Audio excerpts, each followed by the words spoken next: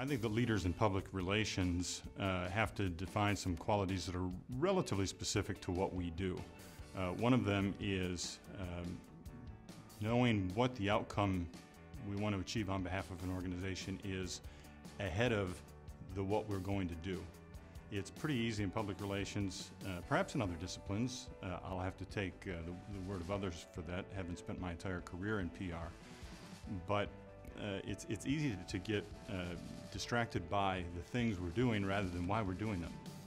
And if you start with the outcome that you want to achieve and work back from there, and then use that as your guide all along the way to see whether or not you're successful, then I think we'll be massively more effective on behalf of the organization.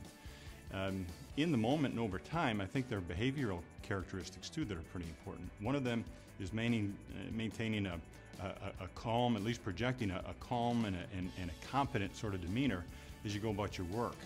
Um, there's a real opportunity for public relations professionals uh, to, to, to pretty deeply um, assert themselves as uh, critical to an organization um, when things aren't going so well.